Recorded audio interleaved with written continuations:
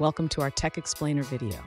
Today, we're tackling a question that many Spark users encounter.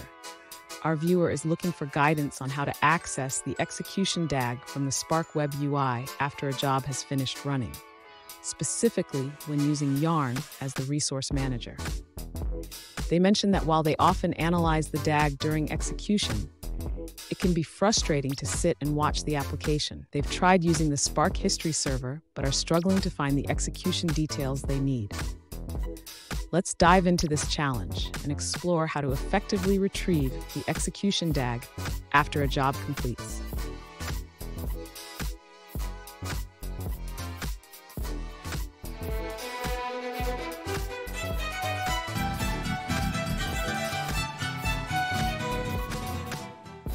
Welcome back to another technical video. Today we're going to be going through your question, answering it, and hopefully finding that solution. Guys, remember to stay just a little bit crazy like me, and hopefully you get to that resolution. Now, let's continue on. To view the execution DAG of your Spark job after it has finished running on Yarn, you need to ensure that the Spark History server is properly configured.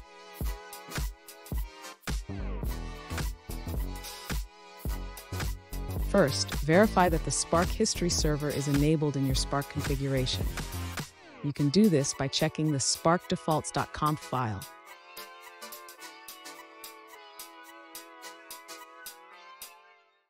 Next, make sure that your Spark job is logging events. This is crucial for the history server to display the execution DAG.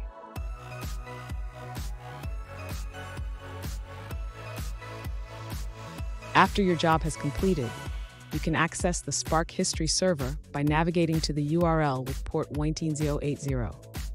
Here, you should see a list of completed applications.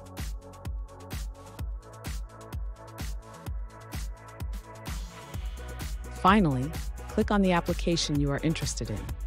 This will take you to the application details page, where you can view the execution DAG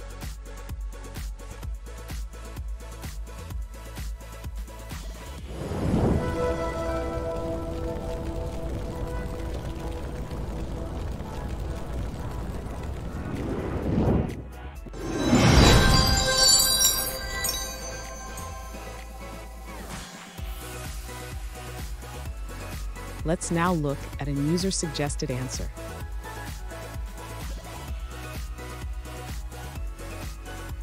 To get the execution DAG from the Spark Web UI after a job has finished running on Yarn, you need to do a bit more than just run the history server.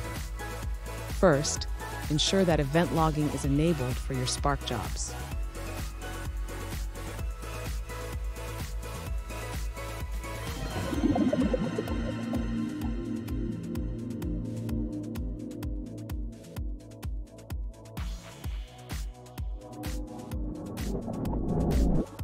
Let's now look at another user-suggested answer.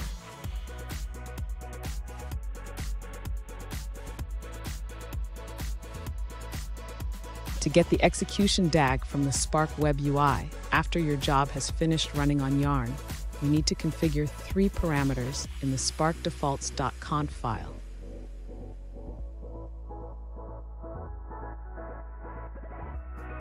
Make sure the event log directory points to either a local file system or HDFS.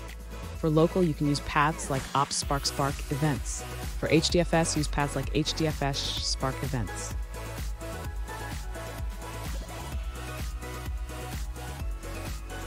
Start the Apache Spark history server using the command spark home slash start history server -h. For Cloudera, use sudo service spark history server start.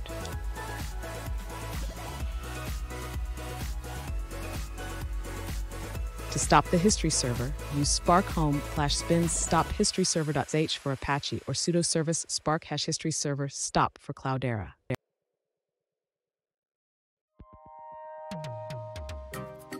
And that's it guys. I hope this video helped find that resolution you were looking for and you found the answer.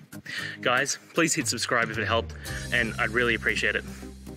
I'll see you next time on another one of these technical videos. Have a good one.